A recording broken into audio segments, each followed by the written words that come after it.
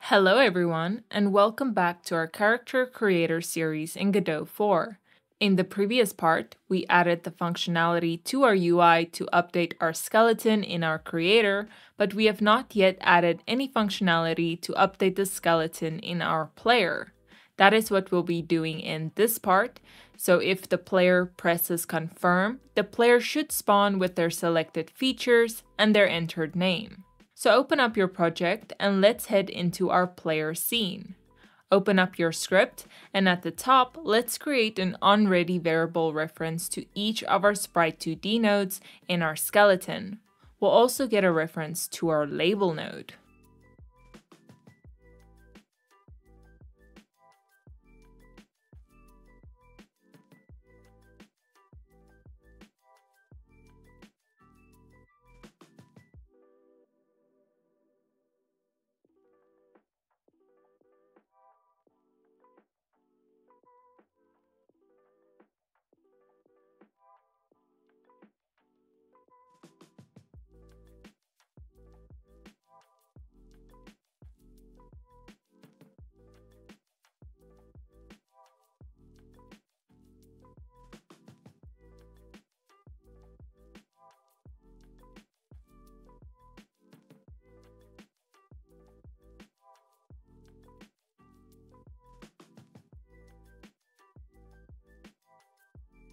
We'll create a new function which will initialize the player with the values from our global script, which we set in our character creator.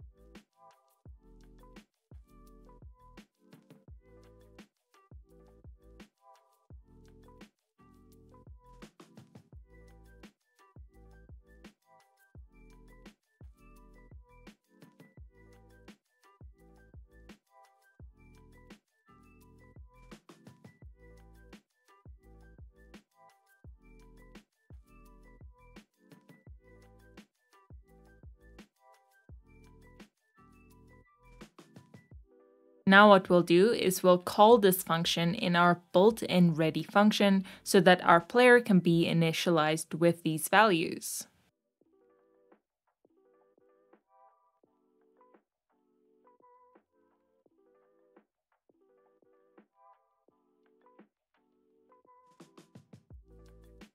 Now if you run your scene and you change your features, your player should spawn with their selected values.